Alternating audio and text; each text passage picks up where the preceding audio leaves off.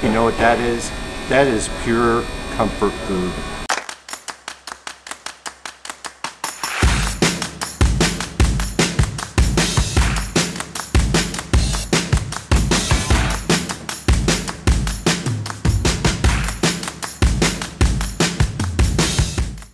Welcome back to the Midlife Ride. It is day six, and I'm kind of getting a little sad. Like the end seems so close. I have no idea where those last five days went. We thought we would try our luck on Fremont Street, downtown Vegas, because yesterday, not so great. Maybe we'll turn things around here on Fremont Street. I'm hopeful. I'm always hopeful.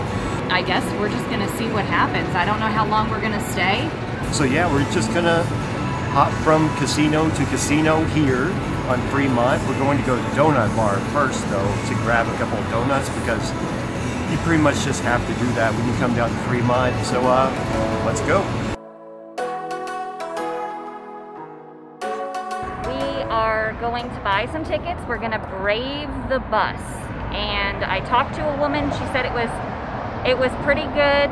Um, they have limited the passengers to about 38, and um, she said everyone was wearing masks. They didn't have any seats blocked off, but she said everybody was pretty much spaced apart. So we are going to check it out for ourselves so that we can report back on all of the various options for transportation during this trip. We need two 24 hour access passes. There we go, two. Money, please. So it's really as easy as that. You select your tickets, you enter your credit card or cash, and you wait for your tickets to come out. Hopefully. Yeah, this is taking a really long time actually. Retrieve ticket. Transaction approved. There it is. Woo, that was scary. We got him. Now we're gonna catch the bus to Fremont.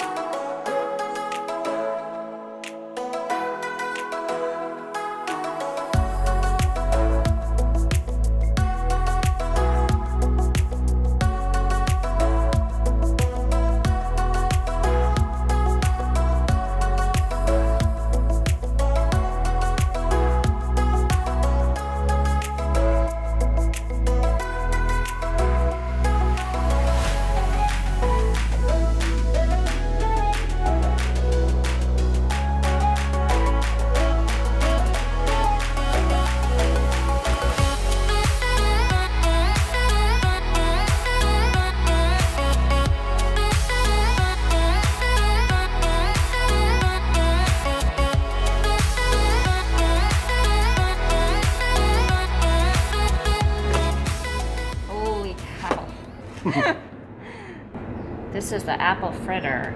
I used to love like apple pies. We never went to fast food restaurants when I was a kid very often, but every once in a while my dad would take us to McDonald's and I would always get an apple pie. But apple fritter sounded really good because I haven't had this in a while. Yep, that tastes exactly like I thought it would. Pretty good.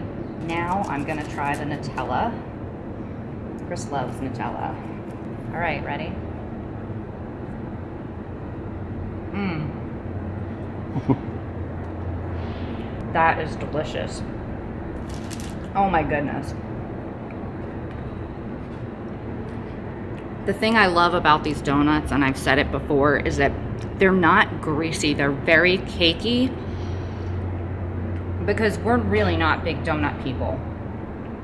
But I definitely recommend you try this even if you don't like donuts because it's really nothing, nothing like what you can get anywhere else.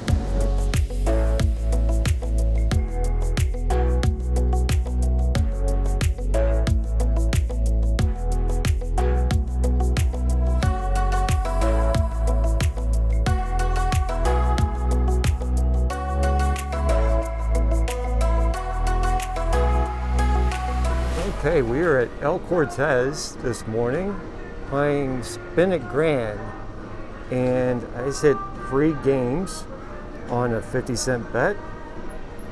So let's see what happens. Eight free games.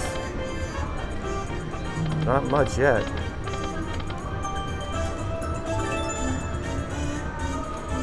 Three of eight coming up. Come on, man. That might be good. Yay. Nice. All right. Come on, big money. Free game four of eight coming up.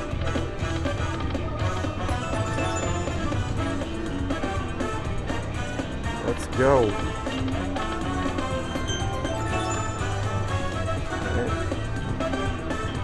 Alright. games, six of eight next. Come on. What did that do?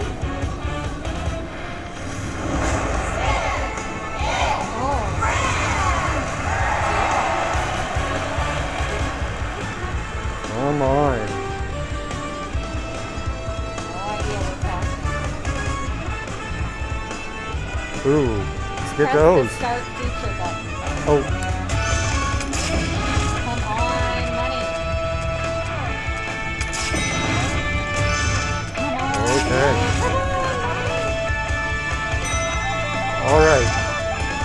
So it's kind of like Lightning Link. It resets every time you fill one in. So. Fill 'em in. Yeah. come on, baby. Come on. Oh, oh last one. We need come one. on. Oh, Come on, Major. Come on, Grand.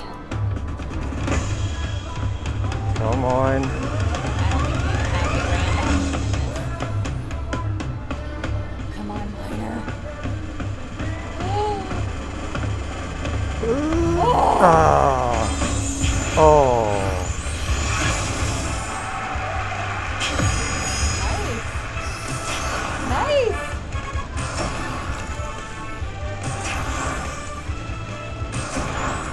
Too bad.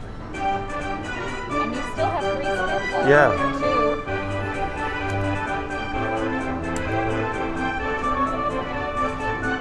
All right. Okay. So now seven of eight. Come on, let's get more free games.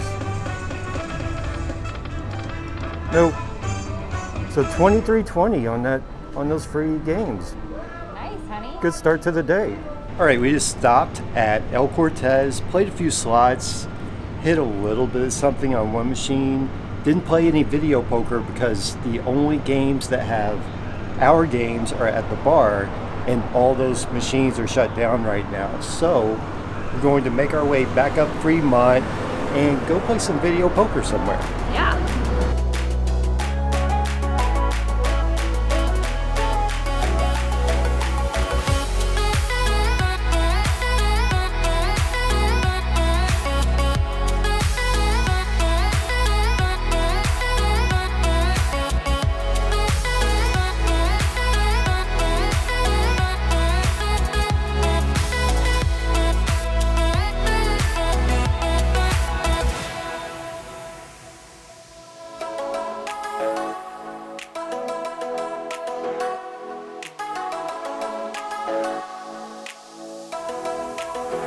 Right, it is lunch break time, and we decided to come to a new place, Aloha Specialties in the California. And uh, we got the Loco Moco, which is a hamburger patty served over rice with an over easy egg on top and then some brown gravy. And then we also also got a chicken bowl, which is chicken over rice. We added broccoli to it and with some uh, teriyaki sauce. So let's see what we have here.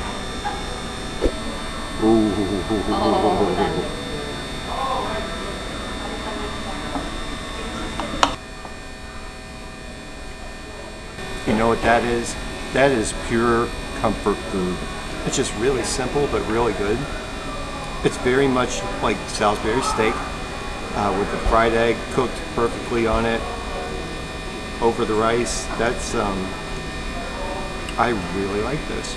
And now for the chicken, To dip it in the teriyaki sauce.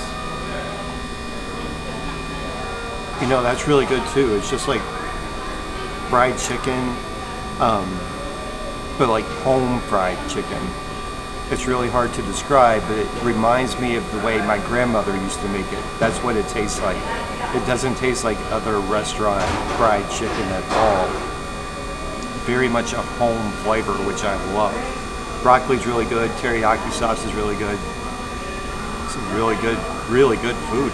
And this is a cheap eat. I mean, we only paid like $15.95 for both these huge plates of food.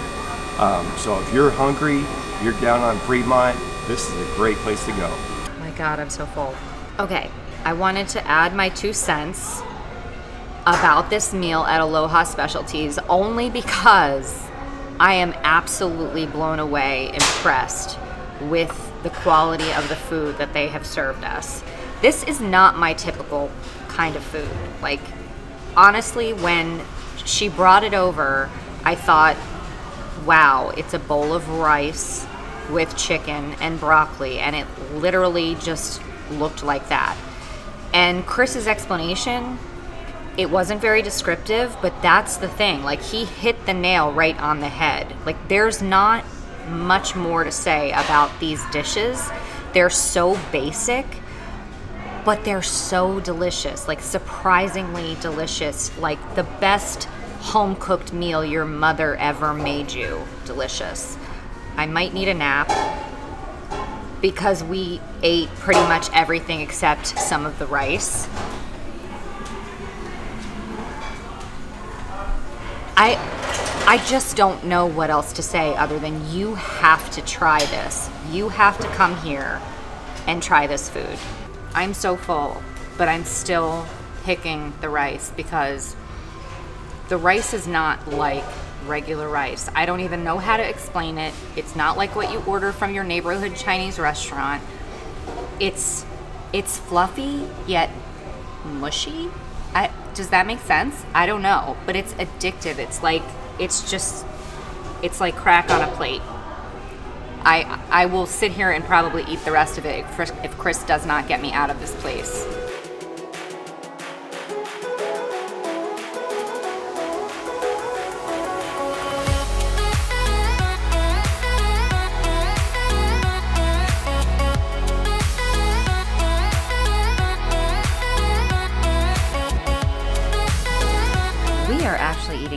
Times today. We are making up for the meal we missed yesterday. And I don't like to really eat too late at night. It, we, it's midnight. We just got back to the room. Um, but I am forever complaining that there are not enough vegetables on pizza and or pizzas with only vegetables. And in particular, mushrooms, I think, are so underutilized when I walked by this restaurant and saw a pizza named Mushroom Lovers, I couldn't pass it up. So I'm going to enjoy this.